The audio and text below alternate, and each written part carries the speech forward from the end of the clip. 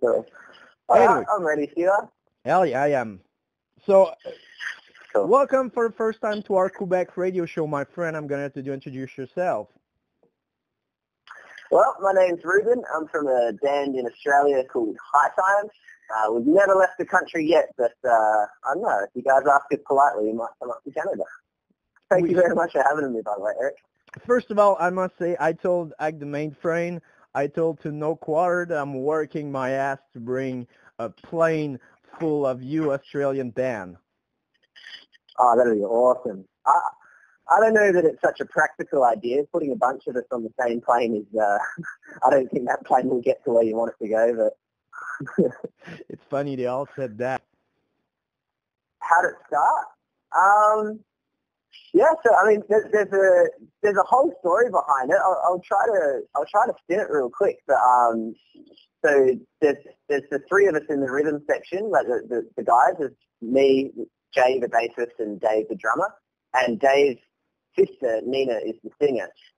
And um, we so I knew Jay and Dave through the Adelaide punk scene. So I started I started playing in the scene when I was like 16 or whatever, and they started probably playing around when they were 16. They're a couple of years older than me, so I grew up listening to their bands and always thought that they were like these like punk gods of, of Adelaide. You know, it was really really cool and. uh and so yeah, like I, I started a band and we started playing some shows with them and we got to know each other pretty well. And one day I met Nina, so I met Dave Fisher, and um, and we actually started an acoustic band together because she wrote really lovely acoustic music and still does.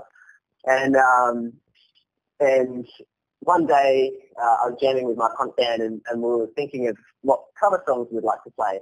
And one of the guys was like, why don't we get Nina in and we can do Laurie Myers by No Effect, you know, so we can have a chick singer in, in the band because at that time there wasn't much female-fronted punk in, in Adelaide. And uh, we're like, yeah, sure, you know, I asked Nina, I said, oh, you know, my, my band wants to do a cover of this song, you want to come and have a sing? She's like, yeah, sure, I'll give it a try. And she comes in, she's all nervous and not sure, you know, can I sing punk? I don't know. And uh, and it gets to the to the scream in the song, and she just, you know, it's like the most like blood curdling scream, and I was just like, whoa, what the hell? And and so we we played a couple of shows with her, uh, like just coming up to this one song, and um and when Jay, like our bassist, saw it, he came up to me, he's like, dude, you and me, we're starting a band with her, it's happening, let's let's fucking do this, and we couldn't find a drummer, so her brother Dave was like, yeah, fuck it, I'll drum, and sorry, I, I shouldn't swear on radio. Um, and yeah, so he, he joined on drums, and, and that was that. That was Hightime, and and um, yeah, we started with the intention of just being a punk band, but at, at the time that we started, I was uh, studying um, all sorts of world music and jazz and stuff like that, and it just slowly started sneaking its way into the music because that was just what I was listening to so much at the time, and uh, and that just kind of opened up the whole well, you know, now that we're doing a bit of reggae and a bit of Spanish-sounding stuff and a bit of surf, it's like we can do anything we want. So we all brought our influences to the table, and then we have Hightime. Yeah, yeah, yeah. Try, try to take you on a bit of a journey. Actually, actually, one of the best things about having like mixed genres in the bill is um, when you, you know, if the crowd's going really nuts, you know, you've got to show that everyone's jumping on heads and you know, doing a big circle pit and all this kind of stuff is you can only do that for so long before everyone starts to look a bit weary. So you just play a couple of reggae tunes and let them catch their breath and dance, and then and then you hit them again. And so you can just keep doing. You know, we, we can play for over an hour, and at the end of the show, people are still moshing hard because we've given them kind of, uh, you know, it's like they're doing it in rounds. It's really funny. And you know, it's it's so spontaneous. You know, you don't, you cannot buy that, or you know, it just it, you throw that to people, and it's the reaction. yeah, yeah. And, And also, uh, sometimes it like gets people into us that normally wouldn't be. Like we've we've got a few people, not very many, but we've got a few people that come to our shows and they're like, oh, we don't really like all that punk stuff that you play, but we just came to see your reggae stuff. oh, okay. It's funny. At least they're there, Yeah, you know. yeah. But you know, Yeah, it's, it's- it's cool to see that that you can collide those two worlds together. Yeah. Yeah, and that's something that we, we used to do a lot in Adelaide. Um, we don't so much anymore because there isn't the bands that there used to be, but we used to put on these shows that had like, you know, a hip hop band and a reggae band and, um, you know, a ska band and an acoustic act and, and, and us. And it was like, we just tried to get all the genres and just go, hey, look, you know, punk can fit just as well with everything else if it wants to. It's cool. It's it's a, it's a beautiful also, connection in every style. not. Yeah, yeah, yeah. yeah.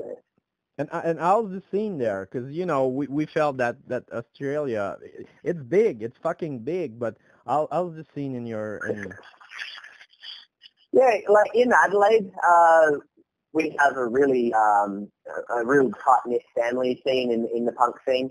Um, it's not as big as it was when we started, but um, but yeah, we- we've got a funny scene in Adelaide where you might go to like a an you know a hardcore show that's in an alleyway somewhere, you know something really underground, and and you see people there, and then and the next day you go see some acoustic or hip hop artist, and those same people are there. Um, and it's yeah, we we got a really funny scene in Adelaide. But um, as for like all of Australia, uh, there, there's there's like there's a good punk scene for sure. Like it's it's all there. It's just uh, it's just getting to them. I think is a bit tricky, but yeah, the, we we we really need a band that kind of um, or or a few bands that start to connect all the things together that start to you know get the bands from Brisbane and Adelaide to play to the big Adelaide scene, and the bands from Adelaide to play to the big Brisbane scene. You know, there's a couple of uh, couple of dots that need to be connected there because because there's, people out there and, and they do come to shows. It's just um, I don't know. I think I think it's hard for touring Australian bands, like the ones that tour around Australia. They they usually have a big following in their hometown. Like say, you know, maybe at their hometown they play to 200, 300 people, and then they go into state and play to like 70 or 60. You know, it's a very common kind of thing here. So yeah, something something's got to change there. I think we've got to put our heads together and yeah, bring our things together. and I think we have the same problem, uh, at, you know, in Canada Yeah. and, and Australia. It's just it's too long travel. So like geography, it's kind of impossible for a band to tour nonstop. It just you lose too much Yeah. money from town to town. Yeah, yeah. That, that, that's our biggest kind of issue as well. Like, I mean, we, we, we're going on tour next weekend, um, and it's a bit different for us now because our drummer's got uh, two babies, so we can't stay on the road. We have to do just weekends. So what it means is, I mean, next Friday we fly up to Brisbane, play our show there. In the morning we fly to Melbourne. So, so we're flying from Adelaide to Brisbane. Adelaide to Brisbane is like two and a half thousand kilometres or something. And then uh, or maybe 2,000 kilometres, and then we'd play the show, we'd get up in the morning and fly to Melbourne, which is, you know, a 1,500 kilometre flight, and then play the show there, and in the morning we've got to fly back to Adelaide, which is, you know, another 900 kilometres, and then the next weekend we fly to Sydney, it's 2,000 kilometres, you know, it's just, it's huge, like, and this is all to play five shows, we're, we're covering something like, you know, 12,000 kilometres distance, so, The Yeah, problem is it's- it's a bigger than us, you know, because you know there's no band traveling with plane on everything. they just oh, they, yeah. Cause, you know, they're Adhesive from Sweden that came and they did like the Saguenay to Rouyn-Noranda, which is like nine hour drive straight. Yeah, yeah, yeah. No, we we know that one all too well. It's just completely Actually, insane. we we uh the, the worst we ever did actually was uh we played in um I can't remember what town it was. I think it might have been Geelong, which is I think yeah seven or eight hour drive from Adelaide. But what we did was we uh, we played the show um, super late at night. You know, stuck around, had had a couple of like you know a beer or you know something like that, and then we get in the van and, and drive home and get home in time to drop everyone at work and like we literally you know we'd already been on tour played this show in Geelong get up uh like get off stage hang out for like an hour get in the van and drive seven hours back to Adelaide and drop everyone at work. Like we didn't sleep or anything. It was awful. Oh god, it's like, hey, punch in, and then like, oh god, it's gonna be a goddamn long day. yeah, yeah, it's really bad. But lucky for me, I had a pretty cool boss then, and I was just like, hey, I was on tour and I didn't sleep, and he's like, yeah, so. yeah, Yeah, no, it really is. It really is.